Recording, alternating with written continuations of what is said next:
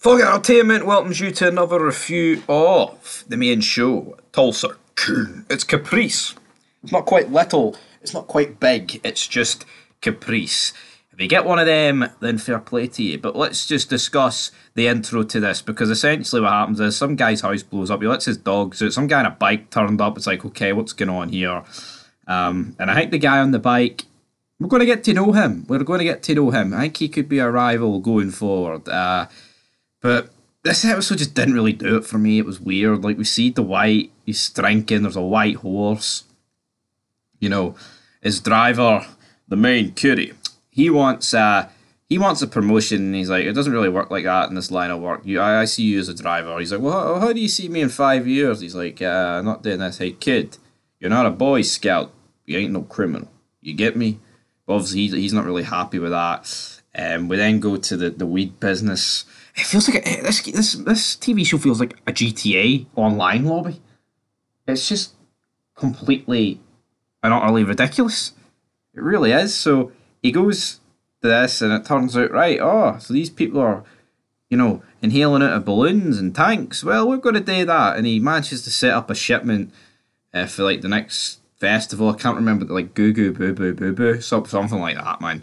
Um, and he, he's looking to make a lot of money on this as Dwight. So yeah, I mean, hopefully he can make a wee phone call back to uh, New York with a wee pay call. But top pay call, phone call. Talking of New York though, he goes for his wee driving lesson, and as he pulls up at a red light, a car pulls up and starts spraying at me. He manages to tell the uh, instructor to duck, and then he chases after. We get a pretty cool uh, scene here. I'm not going to take that away from it.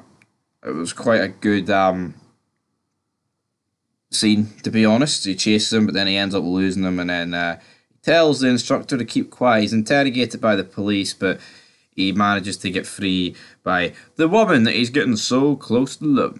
The ATF agent, uh, the guy that attacked him, of course, is the is the rat from New York. He torches a car and leaves, but they manage to like find out later that episode, uh, this episode, sorry, that here he must work at a ranch. But of course, Dwight thought initially it was New York, so he gave him a phone call and he's like, ah, you you can't you trying to suggest that I can't run my own crew? Absolutely, that's what I'm trying to suggest here. You big fucking fud. All right, but you know what? Dwight McQuarrie looking quite good here because he's wearing a wee filler jacket.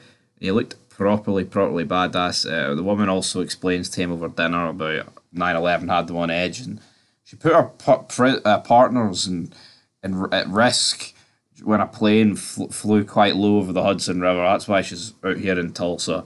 All right, so to speak. That's brilliant. That's a rare laugh. That.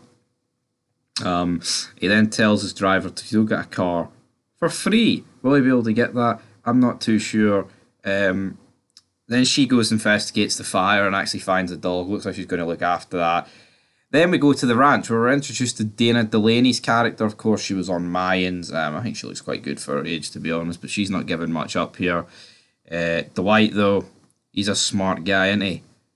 Dwight is damn a smart guy. He pulls up um, at the ranch and follows his main suspect home, and that's pretty much where we end the episode with him, with Dwight on the phone to his new lovely missus. Now, I'll admit, guys, right, I should really write down their names because I, apart from Dwight, I literally know no one's names. But I, I don't know. I, I, mean, I'll probably finish this show, but it's funny. I love seeing Sylvester Stallone. Do not get me wrong.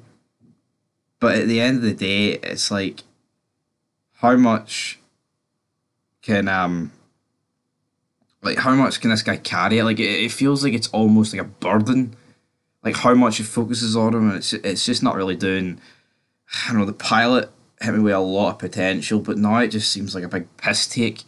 Now, I this this plot line about the, the the rat that's potentially like you know came after myself, so that's a bit intriguing. But I, I don't know, and then like the constant like phone calls back to New York is that is that going to be relevant later in the show? Are we going to see New York make a move, like a legit move? Are we going to see maybe Stallone go back to New York for an episode or two? Even though it can't take away the fact it's called Tulsa King. I, I'm not too sure, but for me, this episode I'm going to give it a five I wouldn't be surprised if this show gets cancelled. I just don't. It's funny, but you need more than funny.